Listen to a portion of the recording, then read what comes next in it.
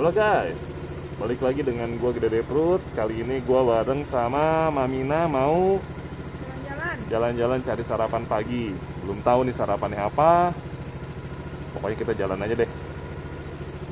Oke, saksikan terus video kita ya.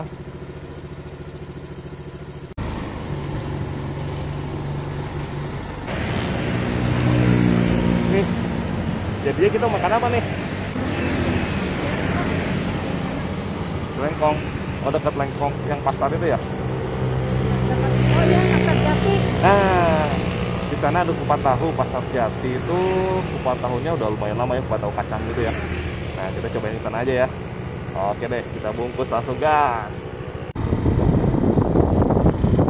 Oke guys, sekarang kita udah di jalan Lengkong Besar. Ini tinggal masuk ke jalan apa ini? Ke pasar jati. Ke jalan jati berarti ini ya. Belok sini. Udah sampai di depan pasarnya. Letak tukang kupasnya ini nih. Sebelah kanan nih. Eh ini mah tukang mie bakso.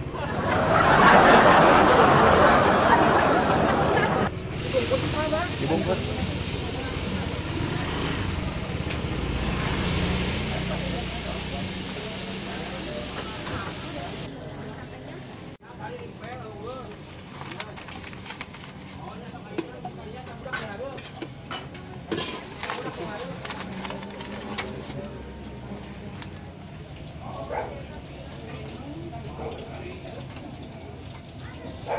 Oke guys, sambil nunggu jangan lupa like, share, dan subscribe ya.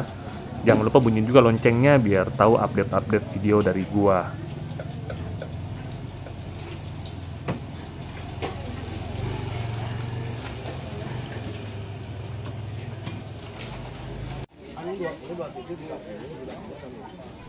Eh ada tukang mie juga guys. Kayaknya patut dicoba nih next time.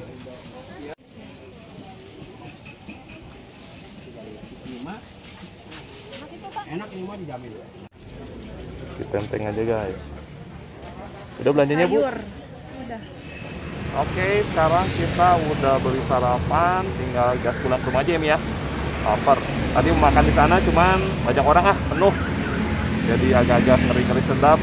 Lebih baik pulang ke rumah aja. Kita gas aja yuk.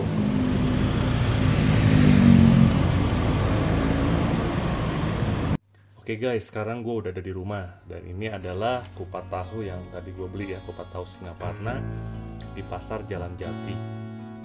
Oke, kayak biasa kupat tahunya cuma ada ini kupat dan tahunya ada toge di dalamnya juga.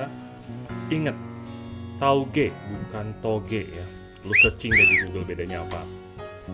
Ada bumbu kacangnya, sambal dan kerupuk.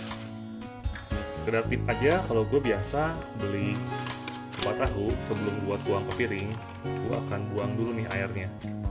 Tuh. Ini air dari tahu dan tauge ya. Kenapa gue buang dulu?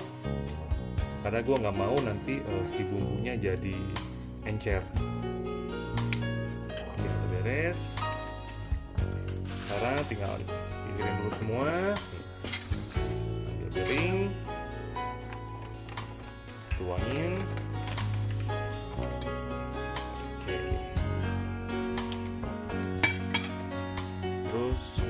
ambil si bumbu kacang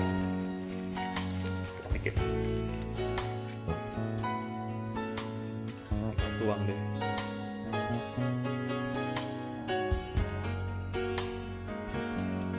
Oh ya tadi tukang kupat tahunya itu buka dari jam setengah enam ya. Sampai katanya sih sekitar jam ya setengah sebelas jam sebelas lah dagangnya gue juga eh, senang kecap jadi gue biasa tambahin lagi kecap. Manis tambahin lagi. Dan gak lupa gue juga pasti tambahin bawang goreng. Biar bikin mantap. Udah gitu tinggal. Kita kerupuknya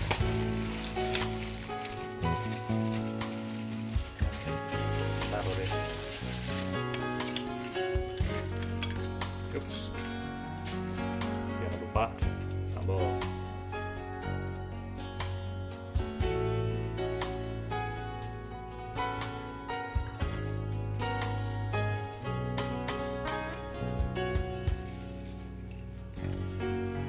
Oke, sudah siap dan kupat tahu pun siap untuk disantap.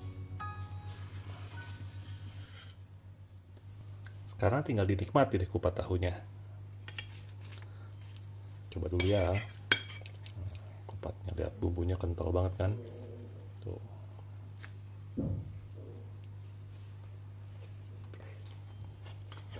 Hmm.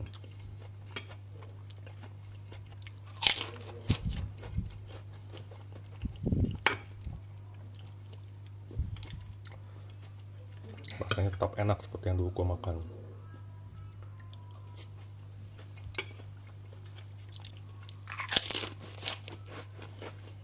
Hmm. Pokoknya tok tok yung. Sep mantap, gede deh perut.